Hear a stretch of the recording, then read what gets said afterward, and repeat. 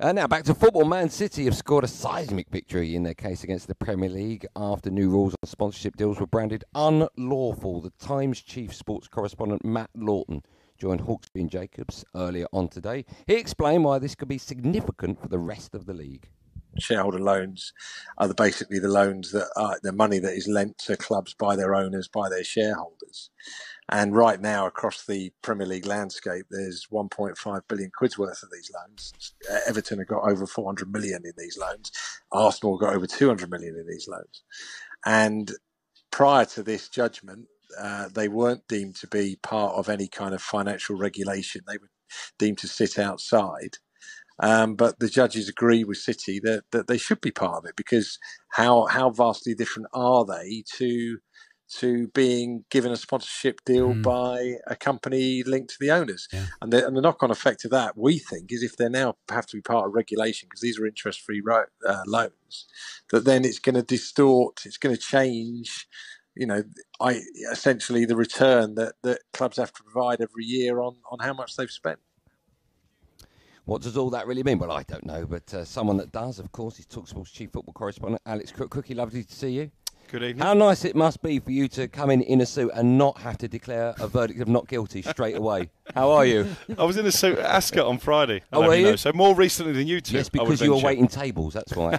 are you good? Are you well? I'm good. Yeah, are you excited tonight? about tonight's going to be, be great, right? Yeah, be good. I'm very excited about it. Yeah. And we should we should fingers crossed get some lots of big names, including of course Pharrell and Wazza. So that'll be a great evening. Some absolute uh, superstars on drive and, and Benty. Hey, I was waiting for that. I was waiting for something. Yeah, but give, yeah, it, give I'll, it to I'll me. give him that. Yeah. Uh, listen, let's go back to this, this huge case, a huge ruling. What um, were the unlawful rules in question then? Let's start with the easy one.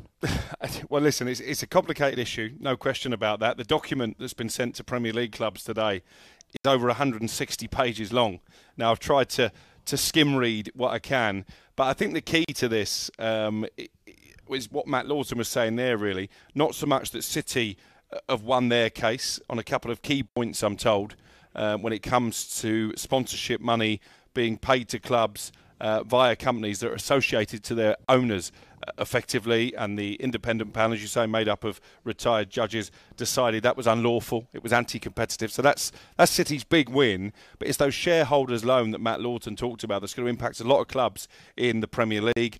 Arsenal and Brighton, uh, to name but two, who've borrowed quite heavily from their owners, from shareholders in recent seasons often at low interest rate, if not interest free. And Manchester City have argued successfully that those loans should be taken into account as well. So that's really, I think, where the Premier League are going to have to redraft these rules. What's interesting is that I've just spoken to somebody at another Premier League club, and they've said what will simply happen now is that these loans will be converted into equity in order to stop these clubs falling foul of PSR.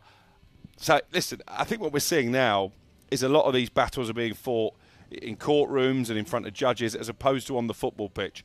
I'm not sure that's a great look for the Premier League. I think it damages the brand. And also, uh, I think it shows the divide amongst Premier League clubs. They can't simply sort these things out amongst themselves anymore without taking legal intervention. There are a lot of clubs who were backing Manchester City, Newcastle, for obvious reasons, Nottingham Forest, I'm told as well. But there are a lot of clubs who were coming down on the side of the Premier League, the likes of Liverpool, uh, Manchester United. I guess again you can probably work out the reasons for that. Bournemouth, much lower down the food chain, they were supporting the Premier League as well. So it has become a bit of a wild west. Quick, a couple of things is what will it change going forward, and also the clubs that you've mentioned there that are going against City. So a club like Bournemouth is that to kind of bridge the gap because they don't want Manchester City to pull too far away in terms of spending money, and the, sides like Manchester United and Liverpool don't want City to be able to gain an advantage in terms of transfers and things. I think certainly when it comes to, to, to United and uh, and Liverpool, they would see City as direct rivals. You look at the Premier League table now and maybe argue that Manchester United aren't, and you were gleefully showing me the Premier League table before we came on air. When it comes to clubs like Bournemouth, they need to be bankrolled uh, to a certain extent because they've got the smallest ground in the Premier League. They don't get as many television games as other teams do because they're not one of the glamour clubs. So I think that's probably why they've rallied against it. Uh, Wolverhampton Wanderers were one of the teams who came down the side of the Premier League as well. And I think City's next game is against Wolves. So that could be quite an interesting ballroom. Mm. Do you think this is good for the Premier League? Uh, not overly, for the reasons I've said. Uh, you know, I, I, I quite like the system where you get 20 clubs around a table. If you get 14 votes in, in favour of amending a rule, then it gets approved. Now that we're having to get lawyers involved, as I said, I don't think globally it's it's a brilliant look for the best league in the world. I can half understand where Manchester City are coming from, but I think also there's a little bit of a PR battle being fought. City have claimed this seismic victory. I know Richard Masters has been rallying around clubs this afternoon saying, "Look, it's not it's not really a victory for Manchester City. They've won on a couple of technicalities. The truth is probably somewhere Yeah. in between." Th th this other case that they've got hanging over their heads. thi- I mean, this could go on for months, right? Before we get the verdict of. Well, it was set for ten weeks, and I think we're two weeks in. Yeah, Uh, but so- then, then it's going to be a, like another. I'm reading this. Maybe you can correct me if I'm wrong, but it's going to be like another four to eight weeks after to find out what the findings are once the the case is over. Well, one of the issues I've got with this, and actually one of the, the management team at Talksport were asking me earlier, you know, when are we going to find out exactly about these 115 charges?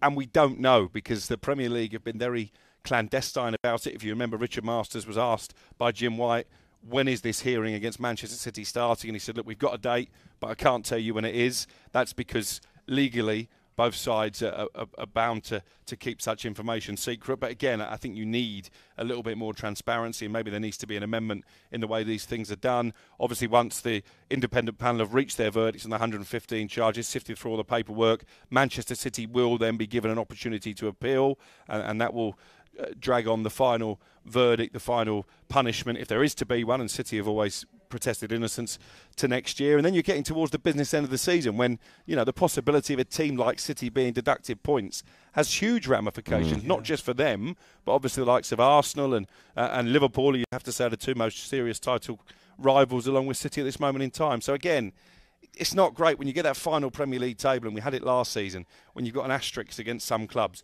Is that really what we want portrayed around the world for our Premier League? I'm not sure. Uh, you're listening to Drive and Talksport. Me, Andy Goldstein, Darren Bent, Alex Crook alongside. We are live from the Legends of Football event. We're going to be joined by Pharrell Williams and Wayne Rooney a bit later on. It is a posh do if people are watching on YouTube. They're probably looking at you cooking, thinking he's still got time to go get changed. so I will let you go. All right.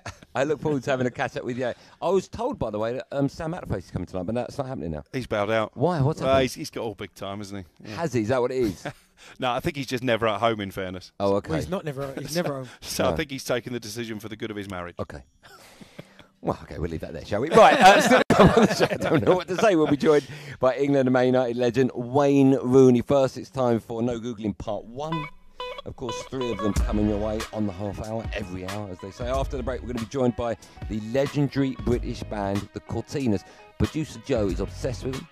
He's seen them 10 times at concert. I don't know. Nine times. Okay, he's just told me nine. Okay, well, I'm guessing there's going to be a 10th. There will be. There you go. There's your 10. Stop arguing with me. Uh, Wayne Rooney actually has the lyrics from another British band tattooed on his arm. And you do? Quickie, do you not there? I think I do actually. Okay, yeah. well, if you don't, stick around because the answer to that and a whole host of big name guests coming up right after this live on Drive on Talksport. Talksport Drive with Andy Goldstein. Monday to Friday afternoon from 4 on AM, on DAB, via the Talksport app and on your smart speaker. Talksport.